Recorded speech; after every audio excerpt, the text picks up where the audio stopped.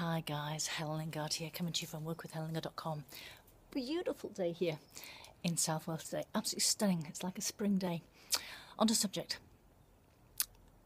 If you've been on Facebook a while, you'll see it brings up memories, and one of the memories it brought for me was this amazing, amazing acceptance speech. Graham Moore from the Imitation Game, and he did this video, um, sorry, this speech, which just captured me because it was me. It was me and it's entitled Stay Weird, Stay Different. And it's about how basically when he was 16, he tried to commit suicide because he felt so weird, so different.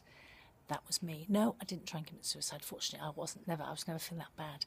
But I did feel different. I did feel I didn't belong. I was picked on, bullied. I felt insecure. I didn't feel enough. Didn't feel valuable enough.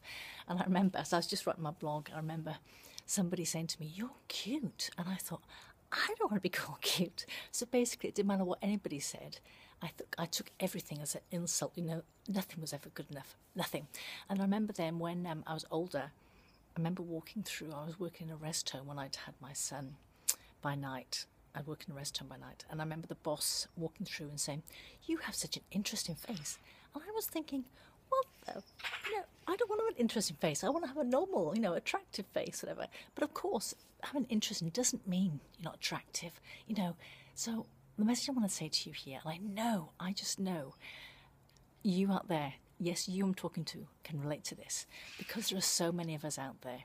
Steve Jobs talked about this about being weird, being different. Who wants to be normal?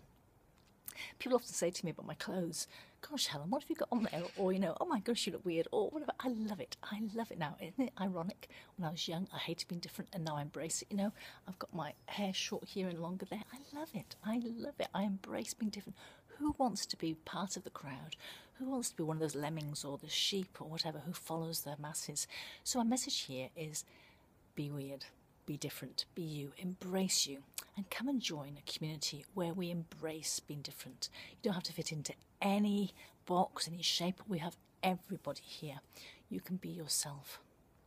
So come and join us. Be weird, be different, be yourself. Either PM me or click on the link below and get to know more about me. And I'm all for being weird, being different, and just be you because you are valuable, you're worthy, you're fantastic just as you are. Talk to you soon and I look forward to working with you if you decide to come and join us. See ya.